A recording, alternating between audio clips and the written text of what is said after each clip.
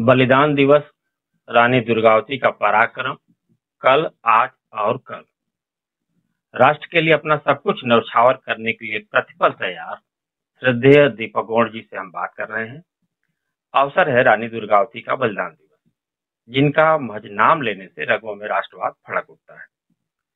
श्रद्धेय दीपक गौड़ जी रानी दुर्गावती का पराक्रम और महत्ता विषय पर प्रकाश डालें। जी, प्रणाम। जी। रानी दुर्गावती जी के बलिदान दिवस पर हम सर्वप्रथम श्रद्धा सुमन अर्पित करते हैं। रानी दुर्गावती जी की ज़रूरत कल भी थी आज भी है और कल भी रहेगी।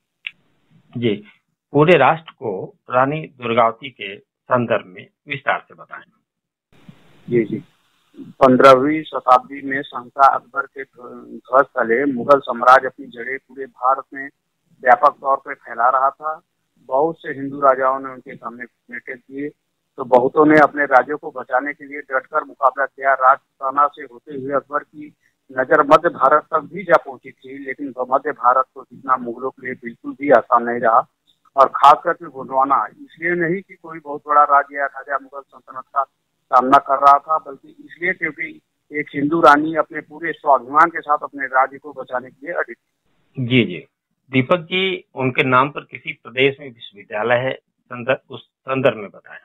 जी वह हिंदू रानी जिसकी समाधि पर आज भी गुण ही नहीं सभी समाज के लोग श्रद्धा श्रद्धांजलि अर्पित करते हैं और जिसके नाम पर मध्य प्रदेश के एक विश्वविद्यालय का नाम है रानी दुर्गावती विश्वविद्यालय जो कि जबलपुर में जी जी।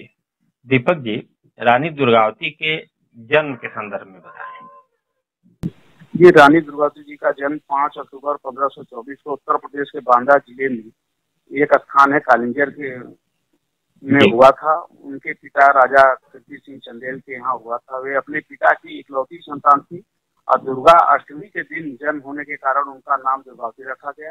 नाम के अनुरूप ही तेज साहस और तीव्रता के कारण उनकी प्रसिद्धि सब और फैल गई।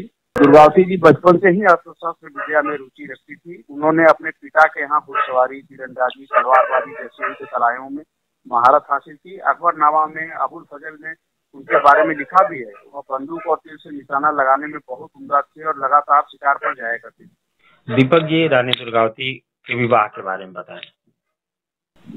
जी। और महारानी दुर्गावती जी पंद्रह सौ बयालीस में अठारह साल की उम्र में दुर्गावती जी की शादी गोड़ राजवंश के राजा संग्राम शाह के सबसे बड़े बेटे दलपत शाह के साथ हुई। मध्य प्रदेश के गोंडवाना क्षेत्र में रहने वाले वंशज चार राज्यों पर राज करते थे। गढ़मंडला देवगढ़ चंदा और केरला दुर्गावती के पति दलपत शाह का अधिकार गढ़मंडला पर था। दुर्गावती का दलपत शाह के साथ विवाद विषय, बेशक एक राजनीतिक विकल्प था, क्योंकि यह शायद पहली बार था जब एक राजपूत राजकुमारी की शादी गोंड वंश में हुई थी। गोंड लोगों की मदद से चंदेल वंश उस समय शेरशाह सूरी से अपने राज्य की रक्षा करने में सक्षम रहा।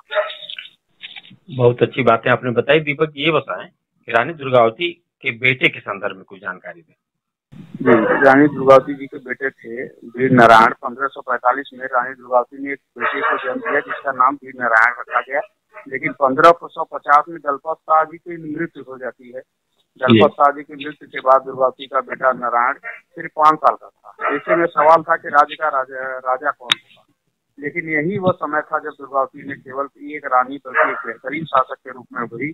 उन्होंने अपने बेटे को सिंहासन पर बिठाया और खुद गुंडवाना की बागडोर अपने हाथ में ले।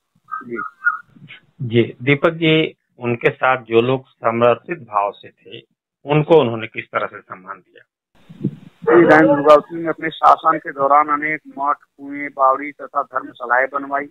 वर्तमान जबलपुर उनके राज्य का केंद्र था। उन्होंने अपनी दासी के नाम पर चेरी ताल और अपने रानी के अपने नाम पर रानी ताल बनवाया तथा अपने विश्वस्त दीवान आधार सिंह के नाम पर आधार ताल बनवाया था। जी, इस उन्होंने अपने विश्वस्त लोगों को सम्मान किया। जी और एक योद्धा के रूप में रानी दुर्गावती के बारे में हमें बताएँ। योद्धा जो पंद्रह सौ छप्पन में मालवा के सुल्तान राज बहादुर ने गोंडवाना पर हमला बोल दिया लेकिन रानी दुर्गावती के साहस के सामने बुरी तरह से पराजित हुए। यह शांति कुछ ही समय की थी पंद्रह सौ बासठ में अकबर ने मालवा को मुगल साम्राज्य में मिला दिया था। इसके अलावा रेवा पर असफ खान राज का हो गया था। अब मालवा और रेवा दोनों ही सीमाएँ गोंडवाना को छूती थी। संभावना थी कि मुगल साम्राज्य गोंडवाना को भी अपने विलय करने की कोशिश करेगा। पंद्रह सौ चौसठ में असफ खान ने गोंडवाना पर हमला बोल दिया। इस युद्ध में रानी दुर्गावती ने खुद सेना का मोर्चा संभाला। उनकी छो, सेना छोटी थी लेकिन दुर्गावती जी की युद्ध शैली ने मुगलों को ऐसा चौंका दिया उन्होंने अपनी सेना की कुछ टुकड़ियों को जंगलों में छिपा दिया और बाकी को लेकर अपने साथ जंगल चल पड़ी। जब असफ खान ने हमला किया और उसे लगा कि रानी की सेना हार गई, तभी पीछे से छिपी हुई सेना ने तीर बरसाना शुरू कर दिया और उसे पीछे हटना पड़ा। इस युद्ध के बाद भी तीन बार रायन दुर्गावती और उनके बेटे वीर नारायण ने मुगल सेना का सामना किया और उन्हें हराया। लेकिन जब वीर नारायण पूरी तरह से घायल हो तो रानी ने उन्हें सुरक्षित स्थान पर पहुँचा दिया और स्वयं युद्ध को संभाला। रानी दुर्गावती के पास केवल 300 सैनिक बचे थे। रानी को भी सीने और आँख में तीर लगी, जिसके बाद उनके सैनिकों ने उन्हें युद्ध स्थल छोड़कर जाने के लिए कहा, लेकिन इस योद्धा रानी ने ऐसा करने से मना कर दिया। वह अपनी आखिरी सांस तक मुगलों से लड़ती रही। जब रानी दुर्गावती को आभास हुआ कि उनका जीत जीतना असंभव है तो उन्होंने अपने विश्वास पात्र मंत्री आधार सिंह से आग्रह किया कि वे उसकी जान ले ले, ताकि उन्हें दुश्मन छू भी न पाए। लेकिन आधार ऐसा न कर पाया तो उन्होंने खुद ही अपनी कटार अपने सीने में उतार के ये उनकी वीरता की गाथा है। जी जी। अभी जो आपने पंद्रह में मालवा के सुल्तान बाज बहादुर ने गोडवाना पर हमला कर दिया था उसके संदर्भ में आपने बताया।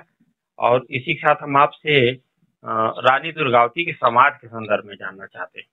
जी जी। रानी दुर्गावती की समाज भी हम लोग के लिए और आदिवासी समाज के लिए गुणों के लिए एक तरह से जन्नत के तौर पे है जहाँ के हम लोग जाकर अपनी अंतिम जी जी।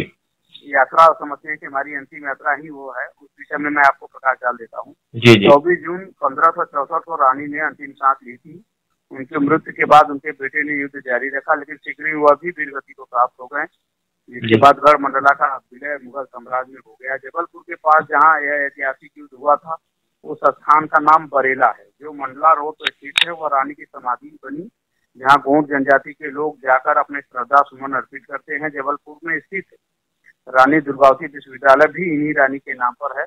भारत सरकार ने साल उन्नीस सौ अठासी में रानी दुर्गावती के सम्मान में एक पोस्टल स्टैम्प भी जारी किया था। जी जी। राष्ट्र के लिए रानी दुर्गावती ने बलिदान दिया। सूरज चाँद के साथ साथ रानी दुर्गावती का नाम भी संसार में बना रहेगा। बात पूरी करते से पहले हम रानी दुर्गावती जी को एक बार सुना श्रद्धा सुमन अर्पित करना चाहते हैं और आपका बहुत बहुत धन्यवाद भाई साहब। जी जी रानी दुर्गावती को हम नमन करते हैं और आदरणीय दीपक जी आपको बहुत बहुत धन्यवाद देते हैं। जी जी जी प्रणाम।